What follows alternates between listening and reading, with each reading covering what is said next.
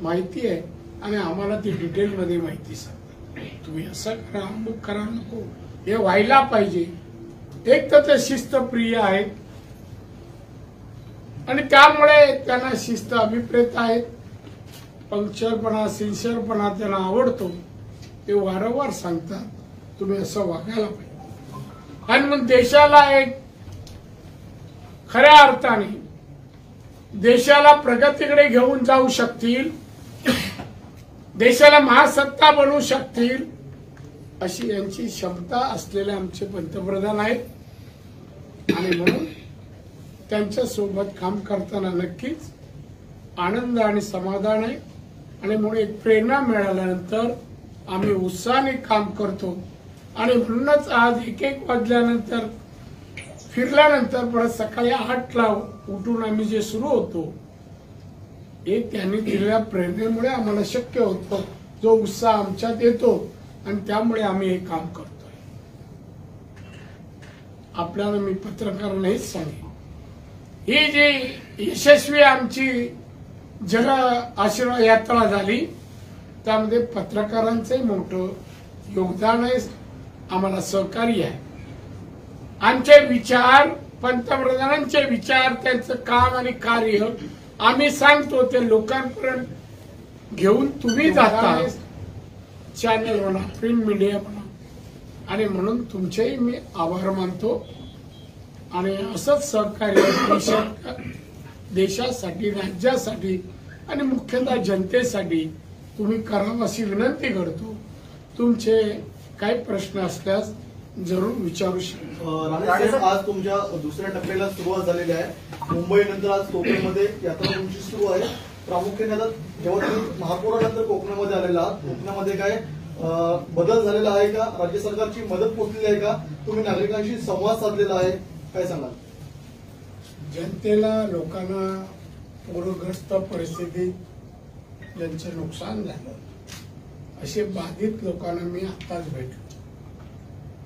काही लोक इथेही असतील.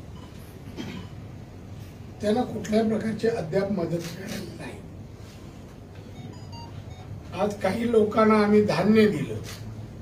त्यांना विचारलं घरात एक कण नाहीये. कोणती मदत नाहीये?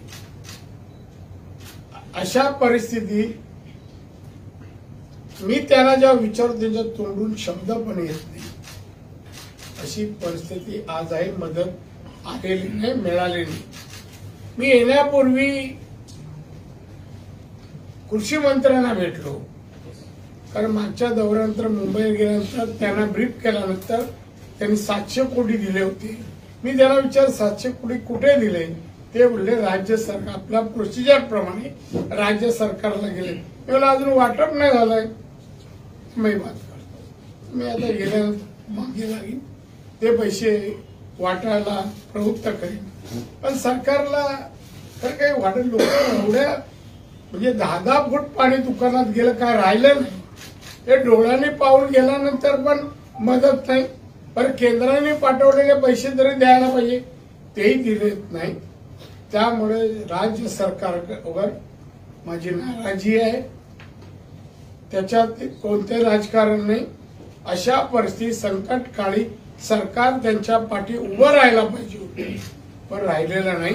पण केंद्राचा एक मंत्री नात्याने त्वरित जाऊन पीएम आणि अर्थमंत्र्यांनी परिस्थिती सांगून मदत त्वरित द्यायला लावली. राणे साहेब आता तुमची यात्रा ही निघाली आहे. रायगडमध्ये आपण आतापर्यंत बराचसा भाग फिरलोय. लोकांनी तुमचं अभिवादन केलं वेगवेगळे प्रश्न मांडले. या रायगडकरांचे किंवा कोकणकरांचा एक प्रश्न नेहमीचाच आहे तो म्हणजेच महामार्ग. हा महामार्ग आता पण तुम्ही पाहिला असेल किती कच्चे रस्ते आहेत बऱ्याच ठिकाणी खड्डे तर तो कधी पूर्ण होईल. आणि दुसरा म्हणजे रिफायनरीचा प्रकल्प त्याचं भविष्य काय असणार आहे? जागा बदलणं आणि बऱ्याच गोष्टी त्याच्यावर एका वेळेला एकच विचारा रस्ते आणि रिफायनरी कारण दोन बाजूला जातात. तर रस्त्याबद्दल मी पाहिलंय आणि मी चर्चाही केली.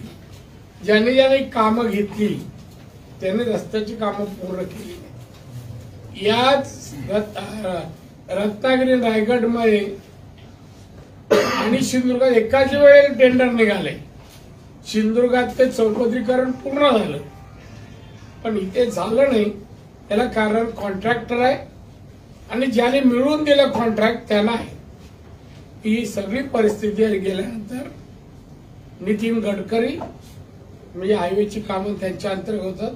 त्यांना सांगून सगळ्यांची कामं काढून घेऊन नवीन नवीन कॉन्ट्रॅक्टर नेमून सात ते आठ महिन्यात रस्ता व्हायला पाहिजे या भाषेत त्यांना सांगेन आणि तसं करण्याला प्रवृत्त राहिला प्रश्न रिफायनरीचा मला तर आणि ज्या लोकांना रिफायनरी पाहिजे ती कारण रोजगार निर्मिती आणि एक शहर नवीन कोकणात बसू शकेल एवढे पैसे लाख दीड लाख कोटी रुपये खर्च होणार तिथे. तर आणि म्हणून रिफायनरी व्हावी त्याबरोबर हॉस्पिटल शाळा कॉलेज हे त्यांनी त्याच्यात रिफायनरीमध्ये करायची त्यांना अट आहे. त्याच्यासह सगळं पूर्ण करावं असं मला वाटतं पण मला रिफायनरी हवी. एकीकडे मंदिरे बंद आहेत तर दुसरी एकीकडे मंदिरे उघडे बंद आहेत. तर दुसरीकडे दहीहंडी सारखा मोठा उत्सव मुंबईमध्ये साजरा होतो. पण मुख्यमंत्री म्हणतात की दहीहंडी साजरी करू नका त्याच्यामुळे करोनाचा प्रसार काय गणपती करू नका हे करू नका. स्वतः पिंजऱ्यात राहायचं. आज लोकांचं जे नुकसान झालं लॉकडाऊन लॉकडाऊन किती नुकसान आज लोक आत्महत्या करतात व्यापारी.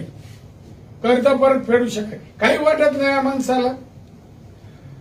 कुठेही एवढं लॉकआउट नव्हतं ते ह्याच्या ह्या महाराष्ट्रात भयाव परिस्थिती आहे.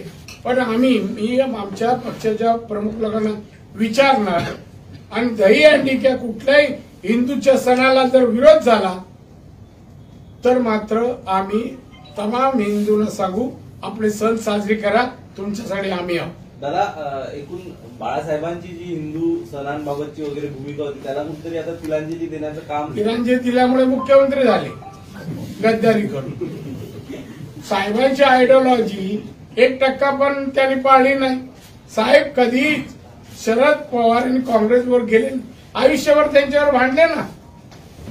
सर्व धर्म समभाव साहेबांना मान्य नव्हता. हिंदुत्व मान्य होतं. साहेबांनी बीजेपीला सोडा म्हणाले नसते. पण आता त्यांनी जे केलं त्याला कुठली आयडिओलॉजी नाहीये. पद आणि पदापासून पैसा आणि पैशापासून पद एवढंच त्यांना माहिती आहे जो माणूस मुख्यमंत्री कॅबिनेटला जात नाही मंत्र्यालयात बसत नाही कसला मंत्री?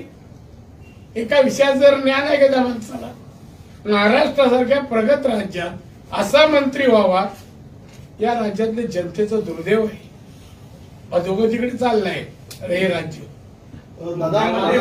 तिसऱ्या लाटेमुळे लहान मुलांना धोका आहे आणि अशा परिस्थितीमध्ये गर्दी करू नये सण साजरे करू नये आणि असं आव्हान ते करतायत. विरोधकांनाही भाजपलाही तसं आव्हान केलं त्यांनी. भाजपाला काय करे आमच्या ऍडवायझर नाही.